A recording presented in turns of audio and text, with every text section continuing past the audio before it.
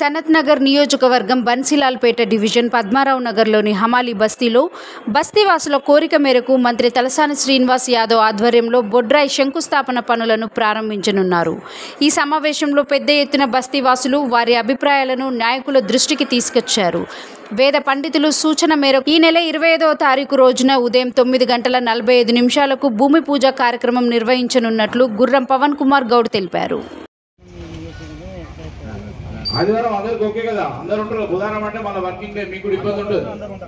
సరే ఆదివారం నాడు మీరు టైం చెప్పండి. ఆదివారం నాడు టైం చెప్తే ఆ టైంకి మనము భూమి పూజ స్టార్ట్ చేసేసి ఆ భూమి పూజ స్టార్ట్ చేసుకుంటాము. ఇరవై ఐదో తారీఖు నాడు మాత్రం ప్రతిష్టాపన. ఆ రోజు మీరు ఎంతమందికి భోజనాలు ఏంది ఎవ్రీథింగ్ మేము చూసుకుంటాం. మీరు ఒక్క రూపాయి ఎవరి దగ్గర ఎవరు ఖర్చు పెట్టాల్సిన అవసరం లేదు. దయచేసి మళ్ళా ఇక్కడ ఎవ్వరు బస్తలు కూడా ఎవరు ఇబ్బంది పడదు. ఏమున్నా కూడా ఇక్కడ మీకు పూజా కార్యక్రమానికి సంబంధించి ఏ టు జెడ్ పూచిక పుల్ల నుంచి మొత్తం భోజనాల వరకు మేమే చూసుకుంటాం. మీరు మళ్ళీ ఎవరి దగ్గర పోయి ఎవరిని అడగాల్సిన అవసరం కూడా లేదు. అవి అయితే పెద్ద కార్యక్రమం మా అంతు మేము సహాయం చేస్తామని చెప్పి ఎవరు వచ్చినా కూడా ఇక మళ్ళీ అంత ఇబ్బంది అవుతుంది. ఇప్పుడు ఒకరు ఇంకోరు నడతాను నేను ఇంకోరు నడతాను అవన్నీ వద్దు. దయచేసి ఎవ్వరు దీని మీద దయచేసి ఎటువంటి ఇది చేయకండి. అంటే బయట ఇక వేరే వేరే చెప్తారు అందుకే ఇరవై ఐదున చేస్తానని చెప్పి మాట ఇచ్చారు కనుక అది ముందు వెళ్దాం మనం చేద్దాం హండ్రెడ్ పర్సెంట్ చేద్దాం.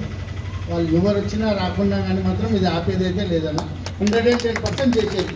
ముందడుగు వేసినాం వేసినాం ఇంకా చేసేది ఇంకా వేరే ఆలోచన ఏది పెట్టుకోవద్దాం రిక్వెస్ట్ మీకు దయచేసి దీన్ని ఆపేది అయితే మన అమలీ వస్తీ ఫేస్ వన్ ఫేస్ టూకు సంబంధించి ఈ పెంచాలని నిర్ణయించుకున్నారు కాబట్టి అన్నగారు రెండు రోజుల సంది తిరిగి కూడా చెప్పారు అందరూ ఈ రోజు ఉండాలని. కానీ ఈరోజు ఫేస్ టూ నుంచి ఫేస్ వన్ నుంచి ఎంత పట్టుదల ఉందో యువకులకు మన అక్క చెల్లెలకు అన్నదమ్ములకు తెలిసిపోతుంది.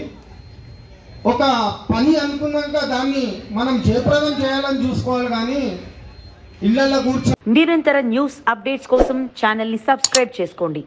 పక్కనే ఉన్న బెల్ సింబల్ని క్లిక్ చేయండి. Thanks for watching GS nine TV